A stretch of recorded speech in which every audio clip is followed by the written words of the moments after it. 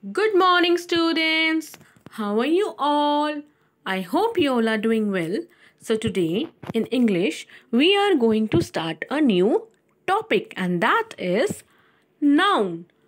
So, our first question is What is noun? Noun hota kya hai? Noun is the name of person, place, animal, and things. Again, name of person, place, animal, and things. Now, the name of person. Example. Can you give me some examples? Person मतलब जैसे कि like your mother, you, your father, policeman, me, doctors. ये सभी क्या है person place what is the meaning of place मतलब कोई जगह park hospital your school your home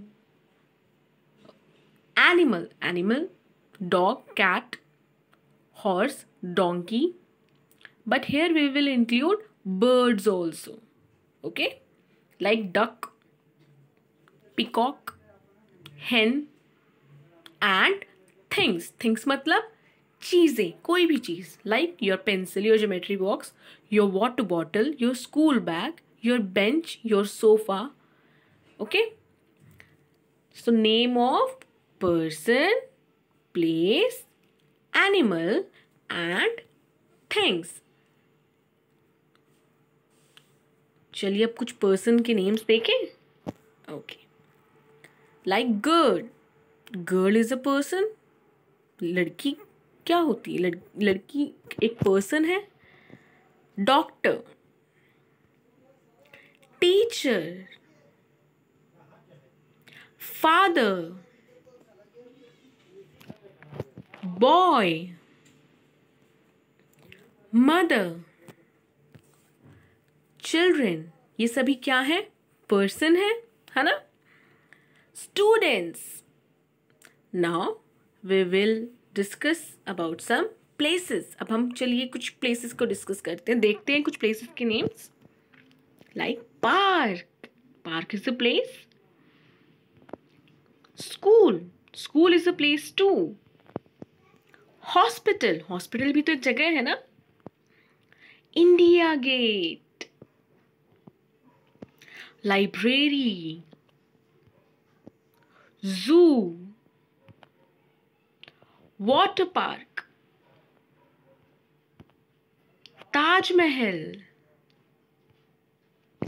Now some animals. And as i have told you earlier also here we will include here we can include birds also. So dog.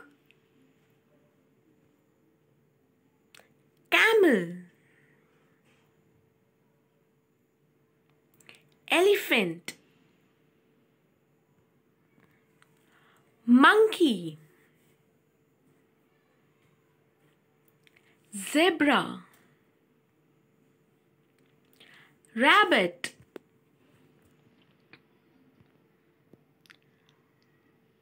Kangaroo. Duck.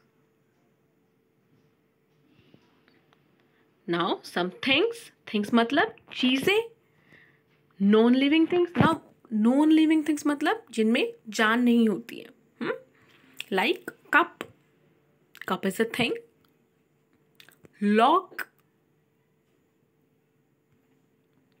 clock glass chalk blackboard bottle bottle is a thing too and bag तो ये आज हमने कुछ किए name of person place, animal, and things. Now, can you tell me that what is noun? Noun is the name of name of what? Name of person, place, animal, and things.